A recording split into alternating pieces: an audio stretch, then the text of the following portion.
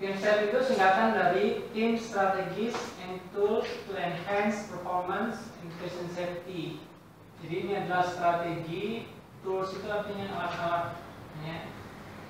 Jadi strategi dan alat-alat untuk memperbaiki kinerja, performance enhance itu memperbaiki, performance itu kinerja, patient safety, keselamatan pasien. Ya. Nah dia pakai segitiga seperti ini. Ya. Jadi core teamwork skill. Core itu inti teamwork itu kerja tim skill itu keterampilan jadi keterampilan yang sangat diperlukan untuk kerja tim. Nah ini keterampilan ini ada di lingkaran tengah ini ya skills.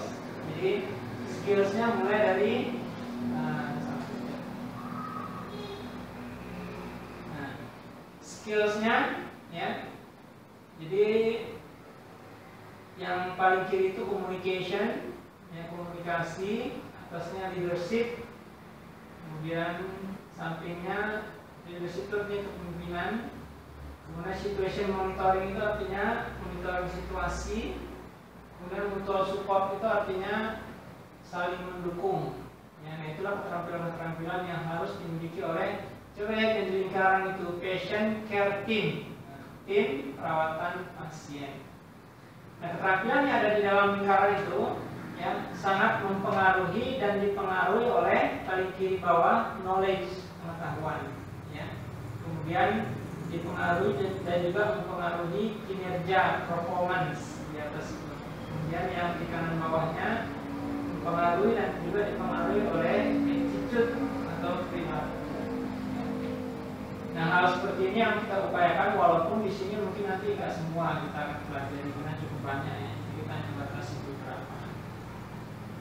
sekarang coba perhatikan video berikut ini, kemudian perhatikan hal-hal apa saja yang bisa kita pelajari dari video ini. Ya. I want to share with you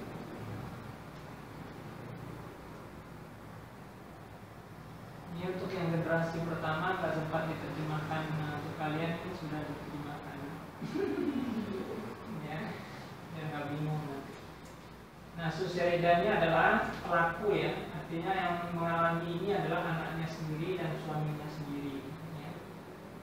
kejadian ini akhirnya dia membentuk itu CAPS ya, eh, apa, Consumer Advancing Patient Safety dia presidennya ini karena peristiwa ini. Coba dengar ceritanya. the story of two very important, very real, and very loved faces in patient safety. One, the precious young face of my newborn son, Cal, and the other, the face of my late husband, Pat. Cal was born a healthy baby boy on March 23, 1995, in a large, accredited hospital that delivers over 5,500 newborns a year. Cal was first noted to be jaundiced through visual assessment at 16 and a half hours old, but a bilirubin test was not done. Cal's skin was described to be jaundiced again through visual assessment when he was 23 hours old, but a bilirubin test was not done. Cal was discharged from the hospital when he was 36 hours old and was described as having head to toe jaundice, but a bilirubin test was not done. The information we received about jaundice was a simple brochure that never mentioned jaundice in Cosbury language. We were told to put Cal in the window for sunlight, not to worry, and to call the newborn nursery or our pediatrician if there were any changes in sleeping, eating, or any other behavior. On day four, I called the newborn nursery and told them the Cal was still yellow, lethargic, and was feeding poorly. They asked me if I was a first-time mom, and then assured me there was no concern since sleepiness was to be expected. They told me to unwrap him and tickle his feet, and if that didn't work, to call the pediatrician. We immediately took Cal to the pediatrician, and he noted the jaundice by visual assessment. A bilirubin test was not done. We were told to wait 24 hours to see if he would improve. We continued to call the pediatrician throughout the next 24 hours, reporting that our child was changing before our eyes. Yet we were repeatedly told not to worry and to wait for 24 hours. At five days of age, the pediatrician fitted Cal to the pediatric unit. Cal's bilirubin was tested for the first time. and it was one of the highest recorded bilirubin levels at the hospital. Treatment was limited to phototherapy. Again, we were told not to worry. A resident did Cal's history and physical upon admission, and due to confusing chart entries, documented the wrong blood type for Cal. A blood incompatibility was ruled out. We later found out that Cal's jaundice was due to a common blood incompatibility, and it was very easy to treat. On day six in the afternoon, Cal had a high-pitched cry, respiratory distress, increased tone, and he started to arch his neck and back. These behaviors were all acute symptoms of kernicterus, or brain damage from jaundice. Again, we reported the unusual behavior to the providers and staff, and again, we were told not to worry. Cal was later diagnosed with classic textbook kernicterus. Cal has athetoid cerebral palsy throughout his entire body, neurosensory hearing loss, enamel dysplasia on his front teeth, crossed eyes, and other abnormalities. Today, Cal cannot walk independently, his speech is impaired, he drools, and he has uncontrollable movements of his arms and legs. In 1999, my husband Patrick, who was a face of panache, ambition, confidence, and strength, also suffered a medical. It was discovered that Pat had a mass in cervical spine, and because of the size, shape, and behavior of the mass, it was thought to be a slow-growing tumor. With the help of our local referring doctor, Pat and I set out the best neurosurgeon in the nation. The tumor was surgically removed and a frozen section was sent to pathology. A phone call from pathology to the OR revealed an atypical spindle cell neoplasm, which was understood by the OR team to be benign. The pathologist, however, believed it to be very suspicious and ordered more stains to further define the tumor. 21 days after the date of surgery, a final pathology report was issued as a malignant synovial cell sarcoma. The report was apparently sent to the surgeon's office, but was either filed without the surgeon ever seeing it, got lost, or was misplaced. The cancer was never communicated to Kat, our local referring doctor, or me, and it went untreated for six months. Pat's neck pain returned, so we went back to the neurosurgeon to find that the tumor had grown to the size of the surgeon's fist, had spread, and had invaded the spinal cord. Upon removal and pathology, it was again diagnosed as.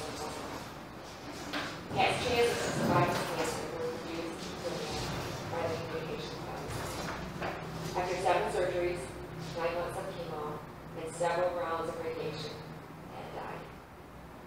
Both Cal's and Pat's errors are examples of simple yet catastrophic systems failure due to communication breakdowns and uncoordinated teamwork. Cal went through several layers of the healthcare system, and each layer failed to stop the succession of error.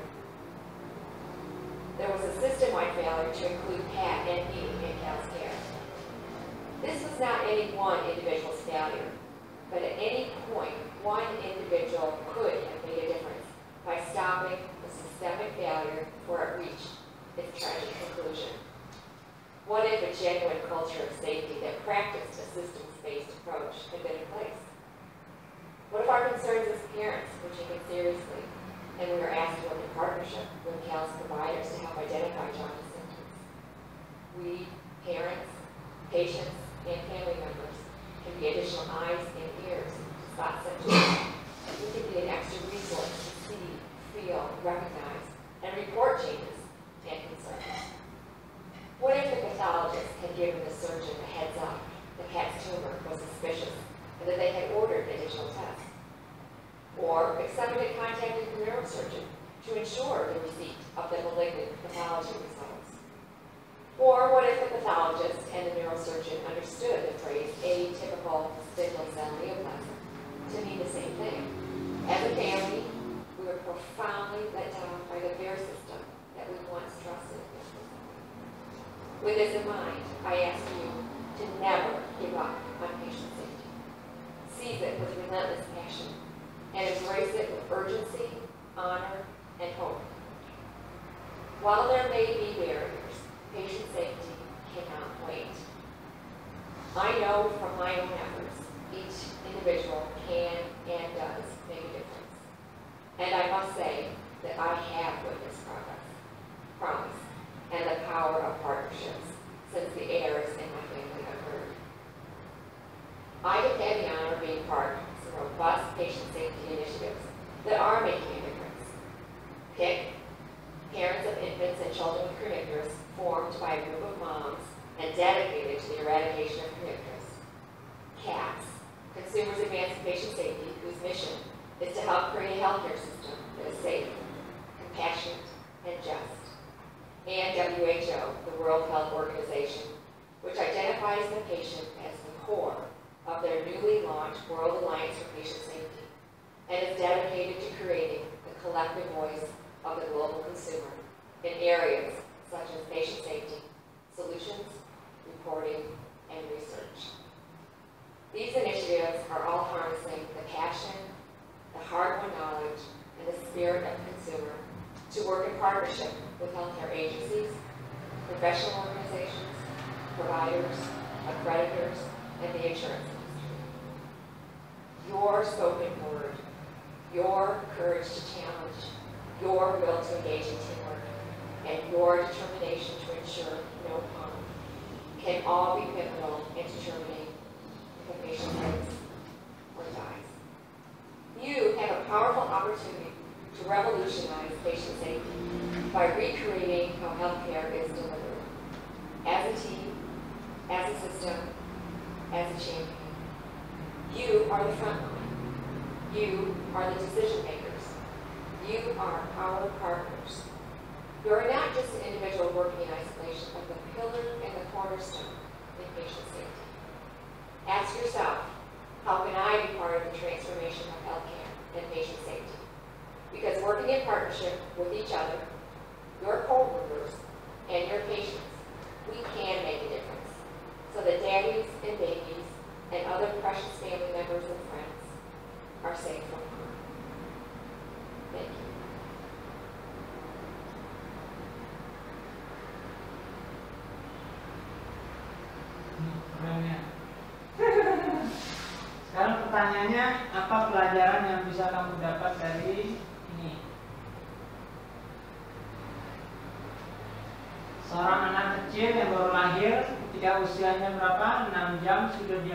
sebagai jaundice.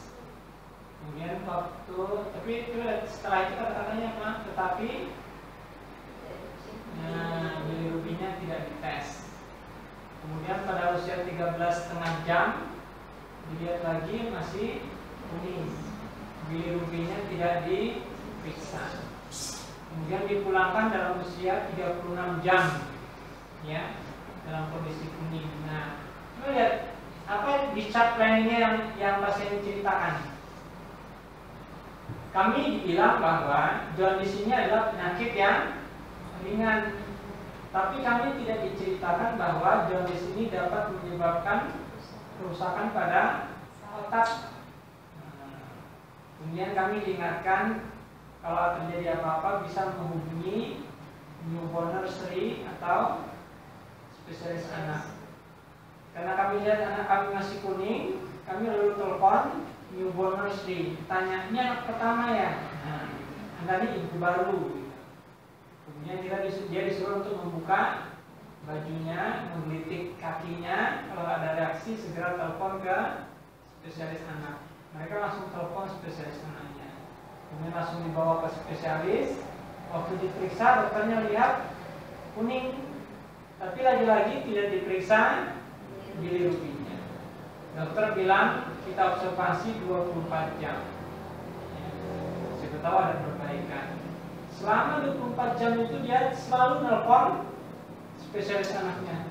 Dok, kok masih kuning sih? Dok, kok masih kuning sih? Tenang, tenang, jangan khawatir.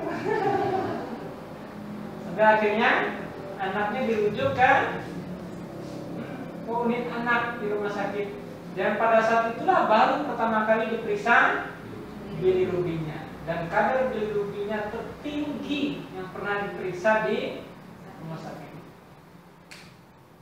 Kemudian uh, anaknya kan ini mendapatkan fototerapi, kata orang rumah sakit gak apa-apa bu tenang aja. Kemudian anaknya menangis dengan keras, sesak napas lalu kejang. Itu adalah gejala karena terus akut. Ya. Terus orang rumah sakitnya bilang, jangan khawatir bu. ya. Akhirnya anak saya didiagnosis sebagai classical textbook Karen terus. Dia mengalami cerebral palsy di seluruh tubuhnya. Ya. Anak saya tidak bisa bicara, ya. Kemudian dia apa? Gangguan apa saya tadi ya? Pendengaran ya. Kemudian saya mengurung diri, kemudian dia apa tidak bisa mengendalikan gerakan tangan dan kakinya. Nah ini coba. Itu gara-gara dokter sama perawat nggak mau dengerin, dok kok kuning? ya, sederhana sekali ya. Sampai akhirnya jadi kartik terus. Kemudian kasus yang kedua, suaminya mengeluh sakit di di leher kemudian berobat sama dokter. Sama dokter dirujuk ke spesialis bedah saraf terbaik di negeri ini. Kemudian sama spesialis bedah sarafnya di operasi. Waktu operasi itu dikirim potong potong beku ke spesialis patologi anatomi. Kebetulan juga ada di rumah sakit itu. Setelah selesai diperiksa lalu ditelepon ke ruang operasi. Dibilang hasilnya adalah typical spindle cell neoplasma yang menurut pendapat orang Oka itu adalah jinak. Nah, kemudian dokter patologi anatominya masih penasaran. Dia melakukan pemeriksaan lanjutan. Ya. Setelah 21 hari dirawat, keluarlah hasilnya. Hasilnya apa? Malignan sinovial cell sarcoma. Ini adalah tumor tumor ganas. Tapi apa yang terjadi hasilnya? Eh, atau salah? Salah taruh atau tercecer tadi mana? Akhirnya hasil yang ganas itu tidak dikomunikasikan kepada suaminya kepada dokter yang mengirim dan juga tidak dikomunikasikan kepada kami kepada saya. Akhirnya apa? Suaminya tidak mendapatkan kemoterapi selama enam setelah enam bulan suaminya mengeluh lagi sakit di leher. Berobat lagi sama spesialis bedah sarafnya. Rupanya tumornya sudah hmm, sebesar kepalan tangan. Waktu dioperasi lagi, dikirim lagi ke patologi anatomi, tapi hasilnya adalah sarkoma. Sama gitu dengan hasil enam bulan yang lalu. Setelah menjalani tujuh kali pembedahan, sembilan kali kemoterapi, dan beberapa kali radioterapi akhirnya suamiku jadi kita bayangkan ya. Kasus pertama itu cuma karena kita tidak memperhatikan kekhawatiran dari orang tua. Dok bu perawat kok bisa masih kuning sih? Tenang bu tenang. Tapi bilirubin tidak di bisa. Makanya coba lihat concernnya dia Mengapa kekhawatiran kami tidak diperhatikan? Mengapa kami tidak dijadikan sebagai mata tambahan, telinga tambahan bagi pengawasan pasien? Gitu. Mengapa kekhawatiran kami tidak didengarkan? Nah, coba seandainya sistem keselamatan pasien ini sudah berjalan di rumah sakit. Kemudian concern dia terhadap ini, terhadap apa? Uh, yang ini Coba seandainya petugas rumah sakit itu bisa langsung mengantar hasilnya ke dokter bedah saraf sehingga dia mengetahui diagnosisnya. Mengapa dokter spesialis patologi tidak langsung nelfon ke dokter bedah sarafnya tentang hasil terbaru dari hasil pemeriksaan patologi? Nah, makanya sejak saat ini ya pelatihan kita ini kalau ada pemeriksaan lab tidak boleh tidak diambil. Ya baik kita nanti dari IGD maupun dari ruangan bayangkan hanya cuma karena hasil tidak terbaca akhirnya pasien meninggal. Biasa. Ya jadi kita selama ini kan kayaknya menganggap itu sebagai sesuatu yang biasa sepele-sepele tapi rupanya itu di satu sisi yang mungkin kebanyakan sih mungkin nggak apa-apa ya. Tapi kalau kita kena lagi kena sialnya kemudian nanti kita kena misalnya di sidang dan lain sebagainya kita yang salah. Nah makanya kita tidak ingin dengar lagi ada lagi hasil lab yang tidak diambil. Saya juga sudah ingatkan sama lab bahwa tidak ada lagi hasil lab yang tidak diberitahukan kepada ruangan nah, bahkan kita nanti juga akan memberitahukan lab itu kalau ada hasil-hasil yang sito. Artinya ini kalau gawat dan sebagainya harus segera dikomunikasikan kepada IGD atau ruangan ini luar biasa ya karena makanya ini pada sesuatu yang sangat sederhana ya. nah sekarang kita akan lihat satu video yang lain yang menggambarkan bagaimana kadang-kadang satu concern itu sangat luar biasa ya. satu apa perhatian dari perawat terhadap pasien itu akan sangat bermakna ya.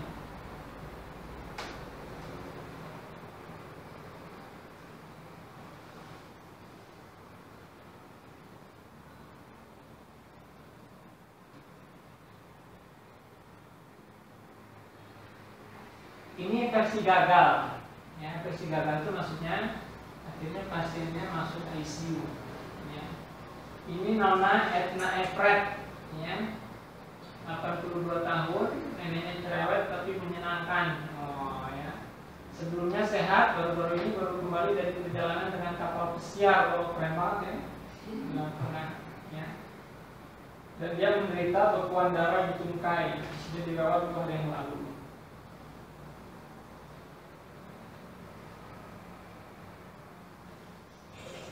You were going to tell me about the count you met on your cruise. Cruise? Oh dear, I need to get my cat Bobs to the vet.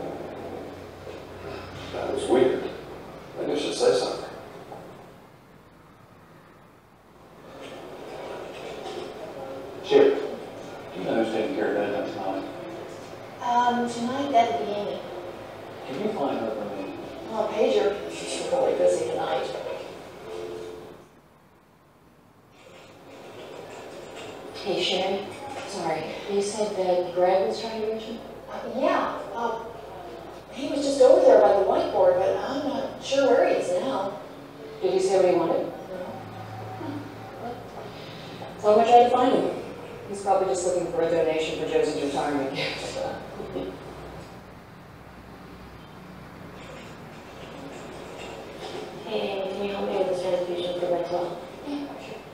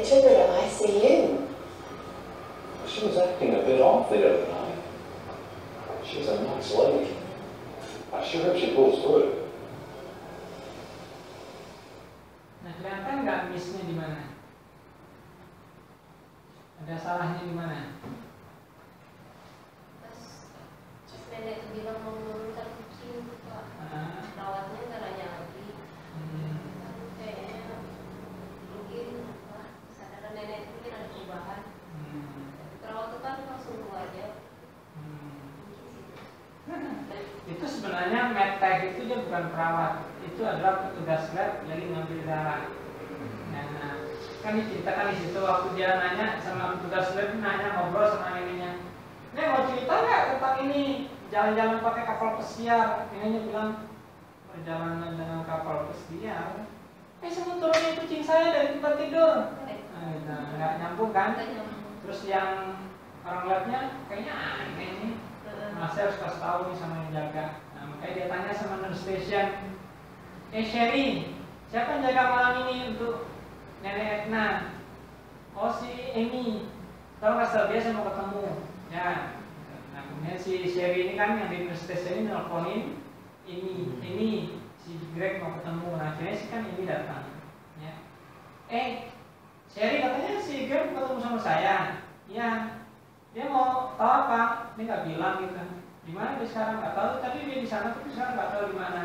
Nah waktu si Amy lagi jaga dia dipanggil ke ruangan si Greg itu sebenarnya waktu dia keluar itu dia mau nanya sama si Sherry yang di Station Sherry where is nah, di mana sih ini tapi dia diganggu sama masuk ke ruang lain sama apa? Sama HP lihat kayak itu? Nah artinya apa di ruangan itu pakai HP itu sadang-sadang ja. Coba lihat dia terganggu sama HP ya walaupun isinya itu pesan dia untuk sih, tapi itu gambaran bahwa itu bisa menjadi sesuatu yang mengganggu komunikasi kita. Ya nah, akhirnya dia nggak jadi nanya sama si Sherry tentang si Amy karena dia lupa kan? Nah, akhirnya dia nggak jadi menyampaikan kekhawatirannya tentang nenek Etna ke Amy besoknya dia datang lagi nanyain sama Sherry eh gimana kabar nenek Etna? Si kodit tahu nggak kodit artinya apa? Hmm? kemarin ini ada yang yang bisa jawab. Anak saya pintar saya lupa nggak bisa dia bilang dia koma sebenarnya kodit itu adalah istilah untuk para perawat di luar negeri yang berbahasa Inggris. Artinya adalah kondisi pasien di mana pasien itu membutuhkan resusitasi. Ya. Uh, sis covid. Dibilang krisis covid dan dia dimasukkan ke sekarang bandingkan kisah yang tadi dengan ini namanya opportunity. Opportunity itu artinya ada sebuah kesempatan tapi kurang dimanfaatkan yang baik. Nah sekarang ini adalah yang berhasil. Ceritanya sama, cuma nanti bedanya di di ininya di mana? You were going to tell me about the. You